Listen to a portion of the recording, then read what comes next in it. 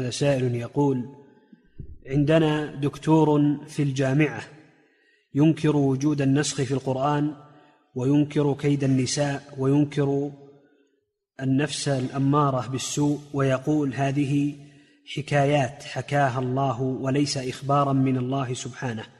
ما توجيهكم؟ هذا المدرس معروف يعني في جامعاتنا إن كانوا معروف في جامعاتنا لازم يكتب عنه يكتب عنه إلى مدير التعليم مدير التعليم يتخذ معه ما يلزم. نعم.